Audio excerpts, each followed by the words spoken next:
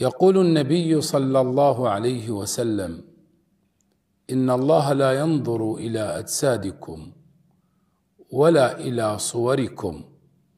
ولكن ينظر الى قلوبكم